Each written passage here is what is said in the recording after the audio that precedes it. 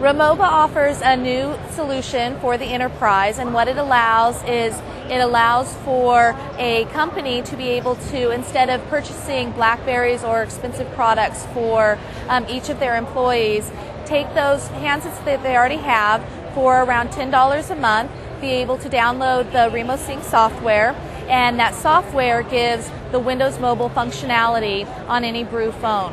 So this is RemoSync. When you go ahead and access it, you would go to the RemoSync main screen, which allows you to access your email, your calendars, and also to manually synchronize at that time. Synchronization is important because it could be either a direct push or you can schedule pushes so that it's um, updated um, every hour on the hour. It's updated, you know, at midnight every night. It depends on how often you need that synchronization to happen. The first thing we'll look at is the email. So for email, you're going to go ahead and access, and you can do everything you can do from your desktop. Here's a test message, what it looks like as you go ahead and drill down into the information. You have options so that you can reply, forward, view attachments.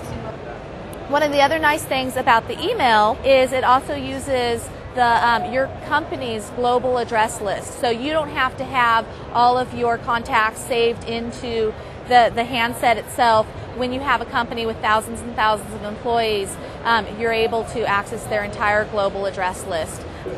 Then, when you go back to the main menu, we have the calendar functionality. So it has what's happening today. You can drill down for more information um, for today's different activities. Or if you go to options, you can look at different views. There's a week view or a month view available. For a week view, if we want to go to Friday, we just click on over to F, check out what's happening, and you're able to drill down there as well.